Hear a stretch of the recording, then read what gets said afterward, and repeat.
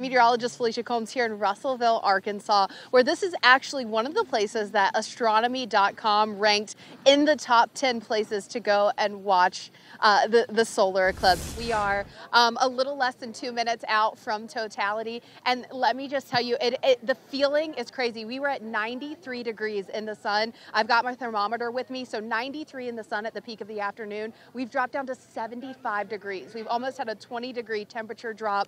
We are like watching this kind of close in. There's not much of the sun left. It is the fact that you are experiencing this just um, amazing cosmic event.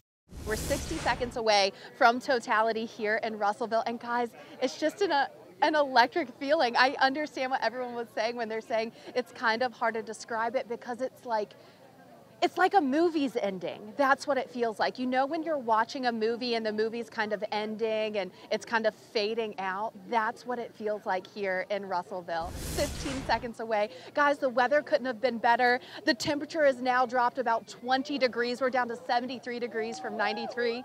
So I think we're counting down. Five, four, three, two, one.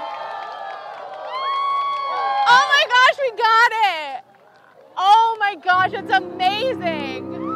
Guys, it's amazing. I just like can't even describe to you how amazing it is. Oh, you can see the corona right now. So right now we're looking at the sun's outer atmosphere and our four minutes and 11 seconds of totality is beginning. It's just, it's just such a, an experience that's so hard to describe because you know you see our sun every day and you see the moon from far away but to just know the type of alignment that has to happen um, for this to even be possible it just it makes you know there's something so much bigger than you. It kind of makes me think that even when things are are getting dark and maybe life isn't going the way you think it might be going the universe is aligning perfectly even when it's kind of dark. And I think that's the perfect analogy for a solar eclipse. We're at maximum totality now, so we're right in the middle of totality. You can clearly see the sun's atmosphere that we that we never get to see. So you've got the sun's atmosphere, the corona there. Um, of course, we had Baily's beads earlier. You couldn't have asked for better weather. Just completely clear skies here in Russellville. Uh, it's just amazing